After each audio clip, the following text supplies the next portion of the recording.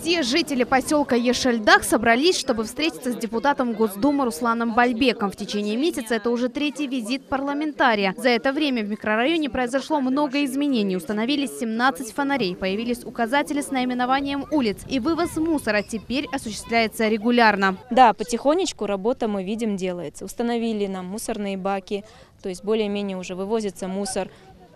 То есть постучали, нас услышали.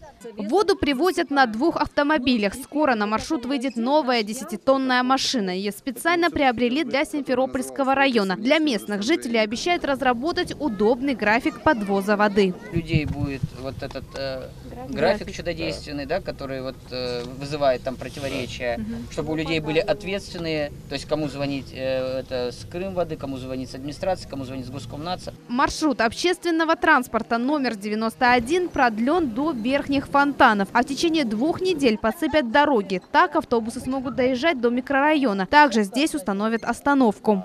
Кроме того, остались вопросы, к которым мы будем фундаментально подходить. И буквально к следующей нашей встрече мы уже готовы будем э, доложить то, как составлены дорожные карты по улучшению ну и климата в целом, и, конечно же, обустройство данного микрорайона, чтобы у людей никогда не складывалось впечатление о том, что они оторваны от реальной жизни, и кто-то про них забыл. В следующем году Крымгазсети подготовит проектно-сметную документацию газификации. В 2021 голубое топливо проведут в 20 домов. К микрорайону планируют подвести и центральное водоснабжение. Э, В течение э, буквально недели будет э, дорожная карта и по водообеспечению, по строительству дорог, то есть дороги с твердым покрытием.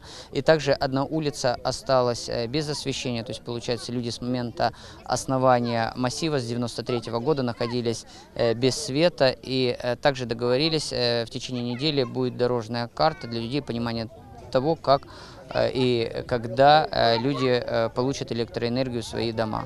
Следующая рабочая встреча по этим вопросам пройдет в Госкомнадзе, где уже рассмотрят готовые дорожные карты. Их решение Руслан Бальбек держит на личном контроле.